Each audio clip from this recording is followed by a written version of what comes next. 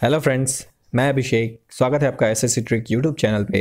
बहुत लोगों ने मुझसे पूछा, सर नॉर्मलाइजेशन केस का क्या हुआ? क्या चल रहा है? कभी कहाँ तक पहुँची कोर्ट हियरिंग तो मैं उसकी की जानकारी लेके आया हूँ आप लोगों के सामने। जैसे आप लोगों को पता है कि लास्ट हियरिंग इसकी हुई थी फ़र्स्ट दिसंबर को।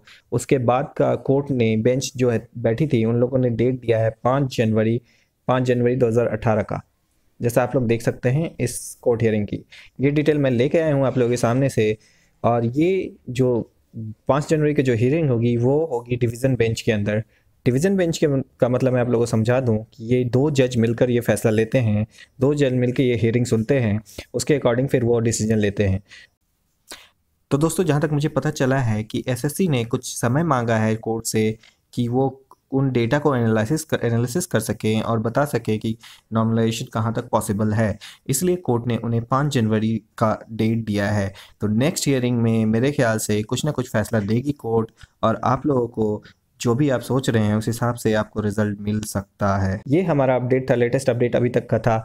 और ज़्यादा जानकारी के लिए हमारे चैनल से जुड़े रहें सब्सक्राइब करें और लाइक करें और बेल दबाए ज़रूर ताकि आप लोगों को लेटेस्ट अपडेट मिले।